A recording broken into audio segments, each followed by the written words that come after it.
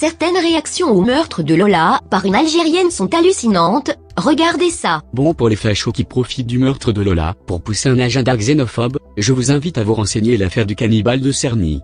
Ça se passe en 1824, en Essonne où Antoine Léger s'attaque à une fillette de 12 ans, l'étrangle, la viole et boit son sang. Oui, il y a eu un crime atroce en 1824, donc il faut importer tout le tiers-monde en France, prenez ça les fachos. Les prénoms des douze pires tueurs en France en remontant l'histoire des plus affreux crimes de notre pays, Gilles, Guy, Francis, Joseph, Marcel, Jeanne, Michel, Hélène, Claude, Émile, Henri, Charles.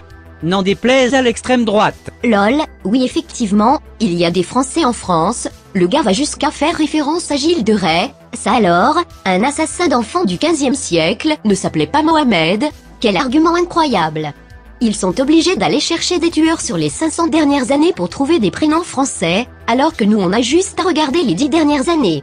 Voici le nom des responsables des attentats de Toulouse en 2012, de Paris en novembre 2015, et de la promenade des Anglais en 2016, Mohamed Merah, Abdelhamida Baoud, et Mohamed Lawayaj Boulel.